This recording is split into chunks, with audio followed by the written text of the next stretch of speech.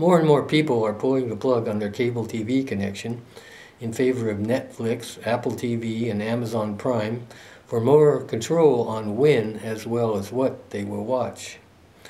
And this new wave of TV use offers exposure to more news channels than the customary major networks, which used to command the attention of a major portion of the viewing population. There are now many choices to seek out for the news junkie, from Al Jazeera to RT, which often report in depth news not covered by the usual media outlets known as Main Street media. Of particular interest are the alternate news services in North America, Open Media in Canada, and Popular Resistance in the US, which do more than just report the news as citizen journalists. Our first report is focused on popular resistance, and we have with us the co-founder and editor, Dr. Margaret Flowers, a pediatrician of 15 years who became disillusioned with the realities of medical politics and decided to change her focus. Hi, Dr. Flowers. Uh, what can you tell us about popularresistance.org?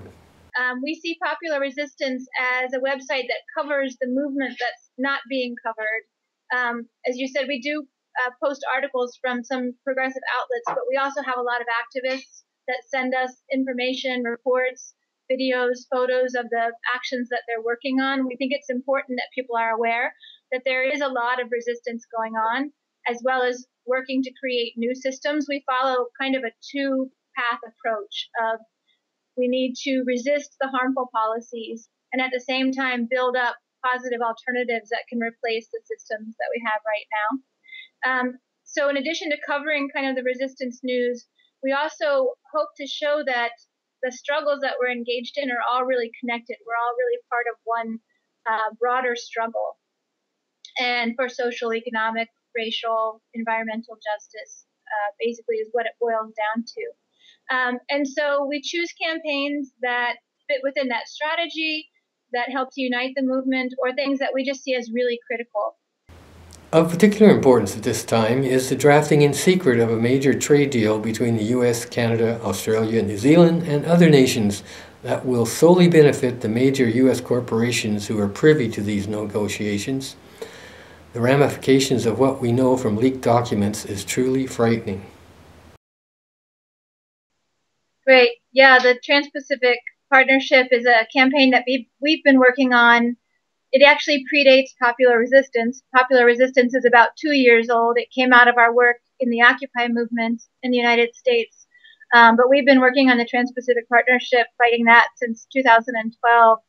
And one of the reasons that we picked that up as a major campaign is that it, it really impacts everything that we care about, the food that we eat, having clean water, clean air, you know, the climate crisis, jobs and wages, healthcare, education. Um, it, it has an impact on all those. So it's an opportunity to bring people who are fighting for all these issues together. But it's also uh, such a type of an agreement together with the others that we're facing in the United States. The um, I know you have CETA with the European Union. We have the Transatlantic Trade Investment Partnership and the Trade in Services Agreement.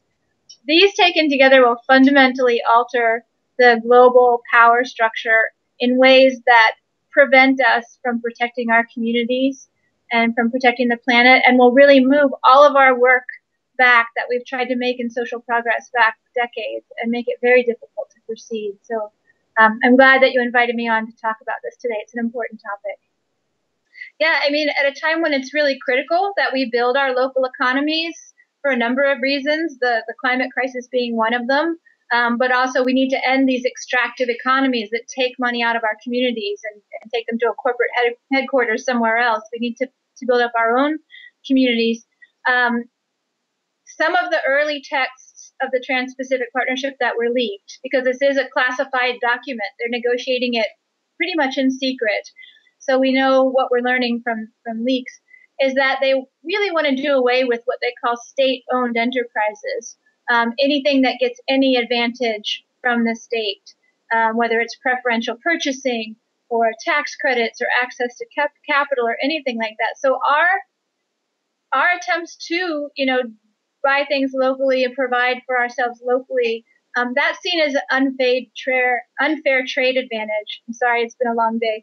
Um, that is seen as an unfair trade advantage to um, these foreign corporations, and so they have to be given access to those, you know, quote unquote markets. So the the Trans-Pacific Partnership has been negotiated um, pretty much in earnest since President Obama picked it up in 2009, um, and negotiations had broken down earlier this year because as they were nearing the final negotiations, uh, it really was clear that in order to pass the TPP through in the United States, our government needed to give President Obama something called fast track trade promotion authority where he could sign the agreement before it goes to Congress. And then they have a very limited time to look at it. They can't change it. They can only vote up or down. And so there was a big fight here to stop Congress from giving President Obama fast track. And we lost that in July. But prior to that, you know, during that fight, the negotiations for the Trans-Pacific Partnership had basically stopped. And so August, this, or I guess just it was the end of July, um, just a week or so ago, they finally picked those negotiations back up in Hawaii. And we were very nervous because um, we know that they're trying to rush this through here in the U.S. before the end of this year. Um, and now that, you know, we knew that now that they have fast track, uh, the real, you know, tough negotiations would begin.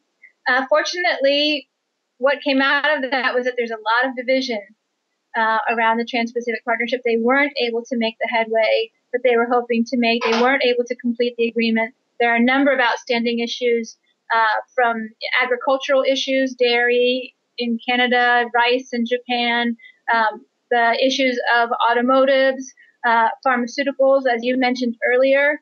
Um, the Trans-Pacific Partnership would give a huge uh, extension of patent rights to pharmaceutical corporations. So and provide more barriers for creating generics. Um, so a lot of tension over that, tension over what's called the ISDS or Investor State Dispute Settlement chapters, which uh, would basically, as you were describing before, allow corporations to sue our governments if our um, laws to protect our communities interfere with their profits. You reported in your newsletter of recent demonstration in Hawaii where delegates of the TPP were meeting to wrap up what they thought would be the final meeting to approve the partnership agreement between the 12 countries involved, including Canada. They were having the negotiations in Hawaii.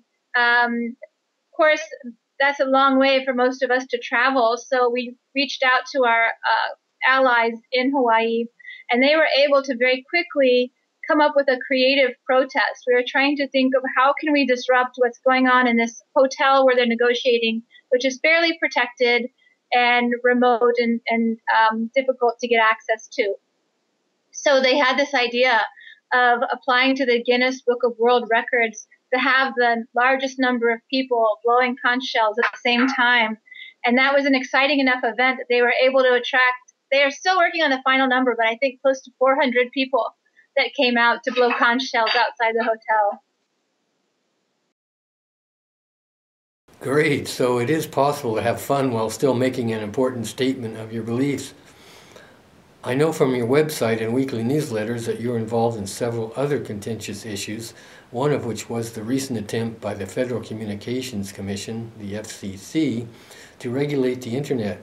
Had this gone through, it would have affected every citizen of every country, just as the TPP has threatened to do. The campaign that we've been involved in quite a bit over the past year is the net neutrality fight. I don't know if you followed that up in Canada. We actually had some allies in Canada. Open Media was helping us with that. Um, but the, our government was trying to further uh, deregulate the internet here so that um, it could become really more of a tiered internet, more like cable TV, where people would only have access to uh, what they can pay for. So you would have different packages, and maybe you would get certain services in one package and certain in the other. And we knew that um, if that started to happen, the internet is really our tool for movement building, for media, for citizens media that's growing. It's essential for us for spreading information, um, and for organizing. And so if we started to lose that access, we knew that it would really um, harm our ability to move forward. So we uh, had a campaign that was successful. actually. And in a one year period, we were able to get the internet reclassified as a common carrier or like a, a, utility, like electricity that comes to our house or water that comes to our house. So now we're having to defend that um, to keep the Congress from undermining undermining that. But that was very exciting. Um, using a, combination of kind of traditional tools of you know phone calls, emails, letters, um, but also some direct action, um, confronting the head of the Federal Communications Commission directly.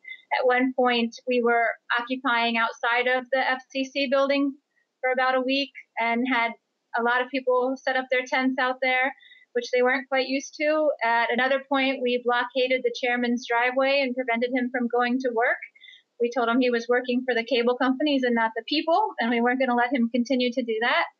Um, so it was an, it was an interesting campaign. Uh, we even at one point did a three-part musical in front of the Federal Communications Commission, uh, telling the story the way we wanted it to turn out if the chairman would side with the people instead of with the giant telecoms. Okay, thanks. Well, that's all the time we have for this interview. Thank you, Margaret, for taking the time, and we look forward to hearing about your campaigns. And thank you for watching.